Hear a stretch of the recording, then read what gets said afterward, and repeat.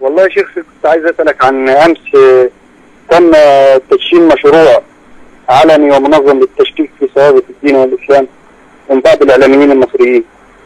أظن أن القائمين هؤلاء إما مدعومون من الشيعة البعداء البغضاء أو مدعومون من الملاحدة ولكن نحن الحمد لله ديننا محفوظ ورب العزة سبحانه وتعالى يقول في كتابه الكريم إنا نحن نزلنا الذكر وإنا له لحافظون. وهذه ليست أول زوابع يفعلها أمثال هؤلاء المجرمون. فهذه الزوابع من قدم. كان هناك الحارث بن النضر بن كلدة وكلدة بن النضر بن الحارث. كان الرسول يعمل مجلس ويأتي هذا الكافر بعد مجلس رسول الله يعمل مجلس يحاول أن يتعقب الرسول. فذهب إلى الجحيم وأهلكه الله مات كافرا والدين ظاهر. والحمد لله في كل القرون تجد كفارا هكذا ومجرمون يحاربون الدين ولكن يريدون ليطفئوا نور الله بأفواههم. والله متم نوره ولو كره الكافرون. كان هناك من ادعى النبوة. والحمد لله أهلكه الله. كان هناك مسيلمة الكذاب. كان هناك المختار بن أبي عبيد الثقفي. كان هناك الأسود العنسي. كلهم أهلكهم الله والدين باقي. بل منهم من ادعى الإلهية ادعى أنه الله.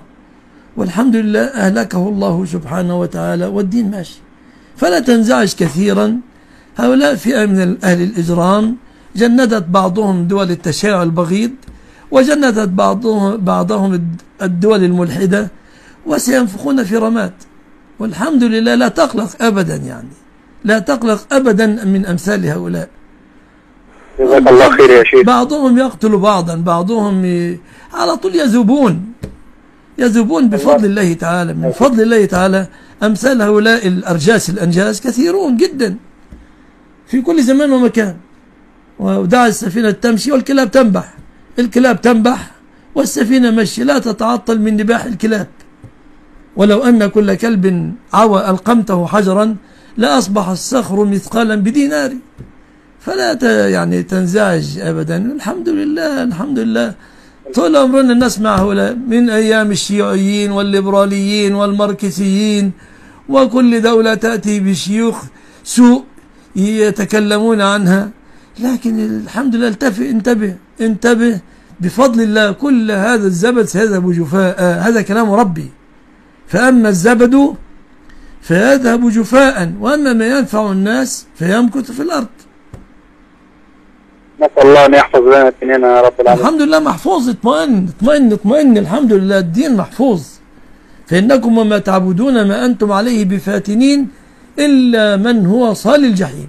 لن تستطيعوا أن تفتنوا أحدا أبدا إلا شخصا كتبت عليه الغواية. فالحمد لله الدين محفوظ والحمد لله الإسلام محفوظ.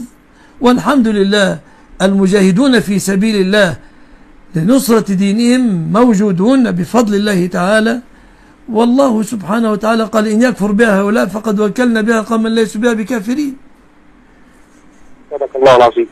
الحمد لله. خير يا شيخنا ونفع بك المسلمين يا رب العالمين. وإياك اطمئن اطمئن إن شاء الله بإذنك يا ربي. أنت دين الله. إن شاء الله. الله يسلمك.